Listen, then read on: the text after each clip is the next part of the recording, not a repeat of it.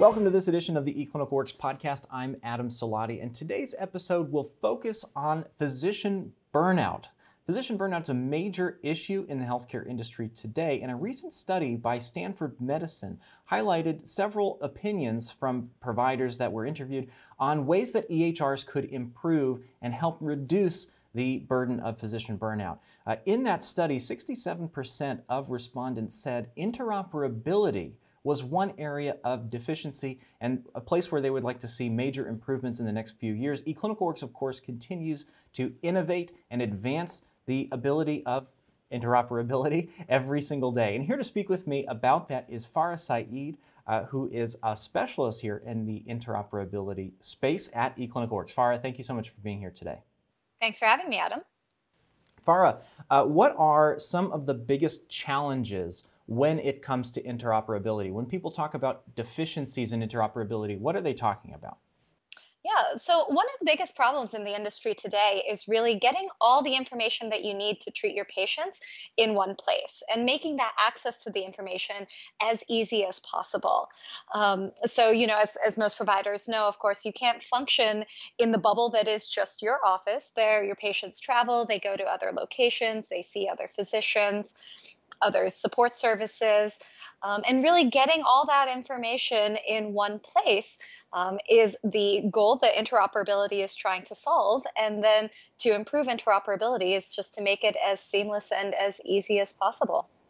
So, if we were to break that down, it sounds like you're talking about accessing the right information. It sounds like we're talking about organizing information, uh, incorporating that information into the point of care, you know, into the workflow, into the patient's record in an easy way, um, and also being able to find the right information. I mean, these are all things that people struggle with. Now, uh, what are some solutions out there that are being proposed? I mean, I know that uh, a lot of times these providers are hearing that, hey, if you want this information, you know, a big source of this is the hospital. Um, that's a that's a place where they've been trying to get that information that traditionally has been difficult. And I think a lot of these providers are hearing that in order to get that information, you have to join some sort of a hospital network. Is that the case, or are there other ways to to access this kind of information? Yeah, um, and and that's absolutely true, Adam. A lot of our providers do come to us and say, you know, we've been told we need to switch EMR systems, we need to go onto the same system as the hospital, and that's definitely not the case anymore um, in this day and age of interoperability. So, as eClinicalWorks, we have a number of solutions to help providers communicate more easily um, with these external systems, whether they're hospitals or other providers out there. Um, some of the more common ones that I think our providers most probably probably know about um, P2P, of course, which is our provider to provider network. Uh, that's what's going to help providers out there exchange referrals more easily. Um, and of course, layered on top of our P2P network is direct messaging. Um, and that's basically what opens up the network to everybody nationwide who might have a direct address. Uh, direct addresses, of course, being essentially the, the EMR to EMR email address, how providers can speak to each other. Um, so P2P and direct exists out there today. Um, also, we have EHX. Uh, EHX is eClinicalWorks' health information exchange solution.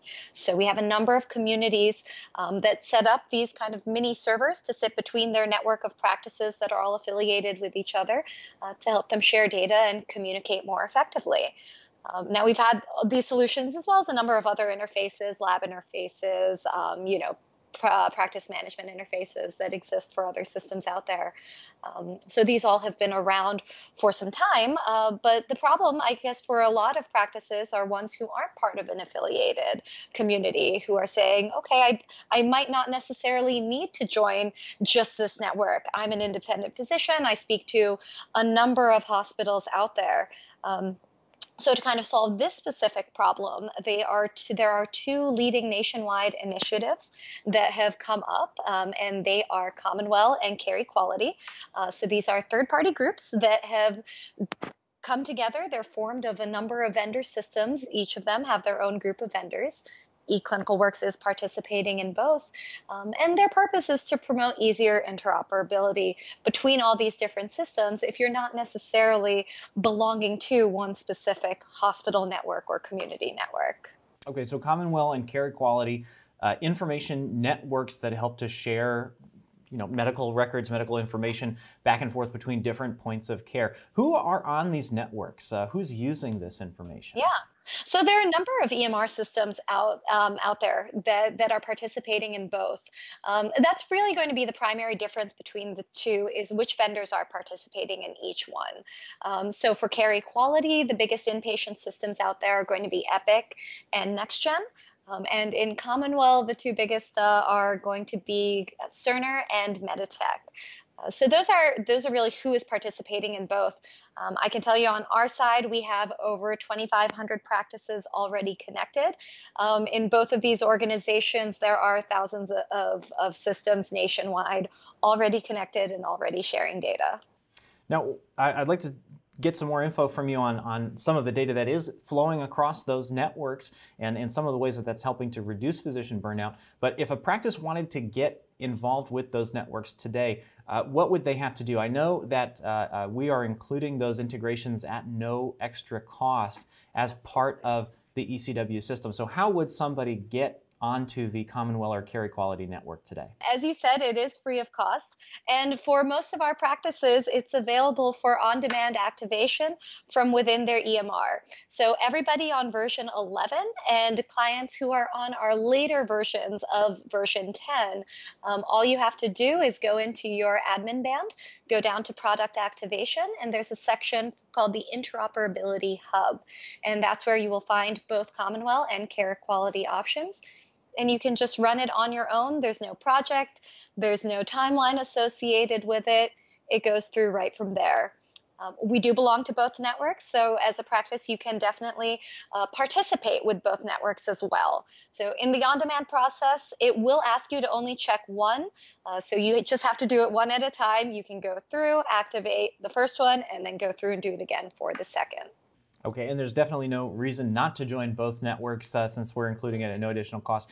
Now, Farah I know these are national networks. I know practices that are, are integrated with these networks are getting information sometimes from all over the country. You know, if their patients are on vacation or if sometimes they spend part of the year in another location. But let's start to talk about some of the information that goes back and forth on these networks. How is ECW's integration with Commonwell and Carequality helping to reduce physician burnout? So, you know, Adam, as we mentioned at the beginning, one of the biggest problems um, within the interoperability sphere um, is getting all the data that you need easily. So, today, the way that works is providers are seeing a patient, patients come in, they say, Oh, yeah, last week I was at some hospital. Which hospital were you at? oh, I don't know, it was the one up the street. You know, they don't always remember all of the information. They don't necessarily have the exact date and time doctor's going to go up to their front desk, say, hey, you know, we need this patient's information. Can you call all the hospitals that are in with, you know, maybe down the street from us or all the hospitals in the county, you know, because they don't remember which one they went to.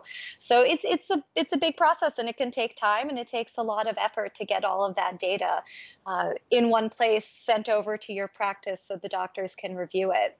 So the, with Carequality and Commonwell, as long as all the other organizations are participating, which is what our goal is here. All that needs to be done is as long as the patient has chosen to participate, has given their consent to participate, when you mark your patient as arrived, a query is going to go out into the network. It's going to gather that data and deliver it straight into the EMR. So the first thing we're doing is we're taking away that calling, that checking, you know, that whole process. Everything is triggered on arrival. There are no additional clicks required for this. So as we know, clicks are a big part um, of the EMR workflow. So that's the first thing we did is to eliminate that. Um, it's all fully triggered on the patient arrival.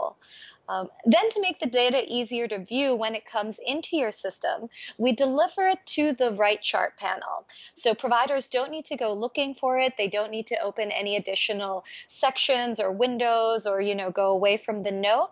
Uh, the data is going to be right there on the progress note on the right chart panel um, on a new tab titled EHX. Now, Farah, is this going to make stuff like following up with tests and referrals easier as well, or are we just talking about hospital information?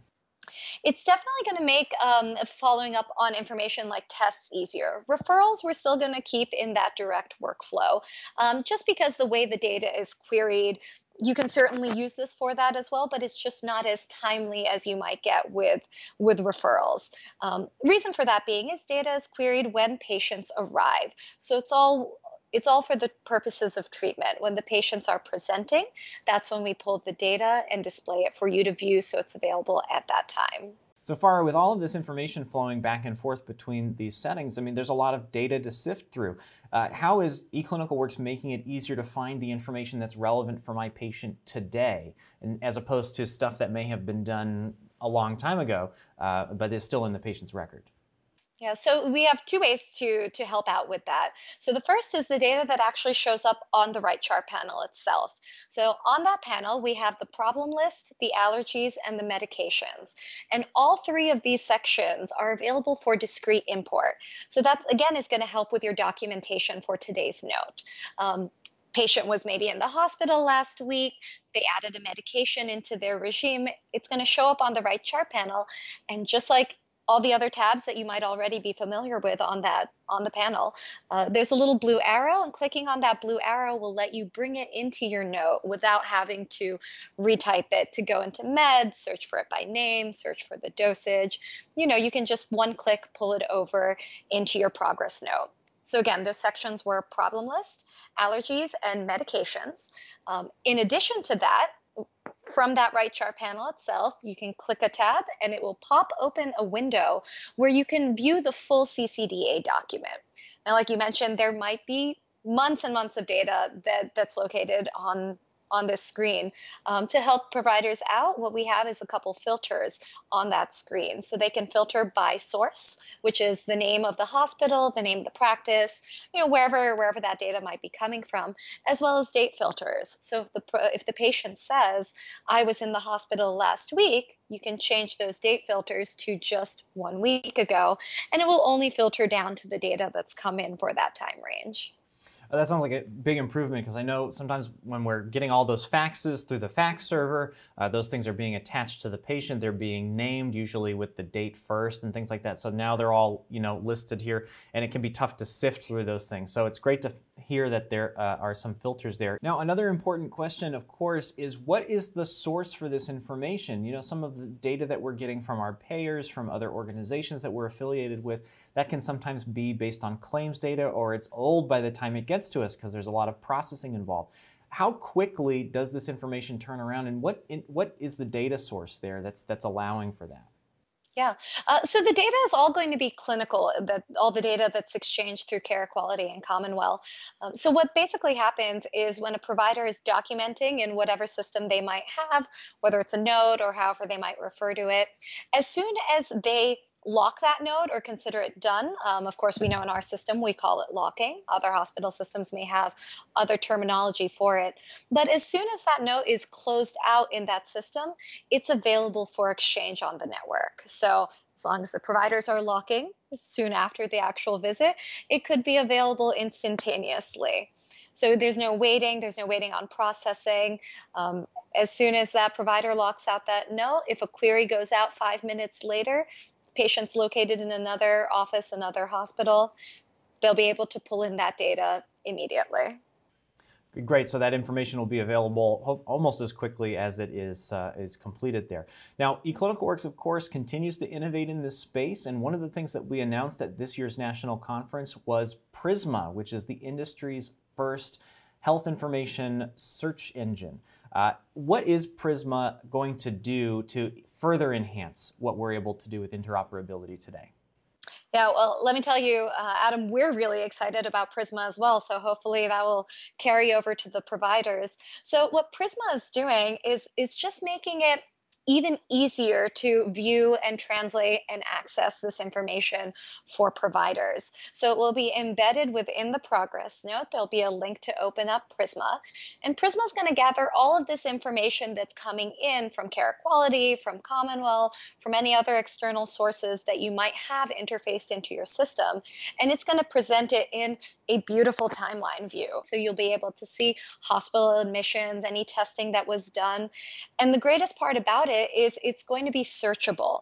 So just like we mentioned before, this issue of sifting through the data. We already have filters to make that a little easier, but this is going to take this to the next level. Um, we'll be able to search for words within those notes. So you'll be able to search for x rays specifically or certain uh, lab work specifically. Um, it's going to make searching and, and, getting that data immediately um, at the tip of your fingers even easier. Excellent. Well, we're very excited to see what comes out there with Prisma, and hopefully that will be released uh, soon. Uh, thank you so much, Farah, for your time here today. For the eClinicalWorks podcast, I'm Adam Salati, and if you'd like to see any of our other episodes, you can check them out on iTunes, YouTube, or my.eclinicalworks.com. And of course, if you'd like any more information about the things that we discussed here today, check out my.eclinicalworks.com or speak with your strategic account manager. I'm Adam Salati, and thanks for watching.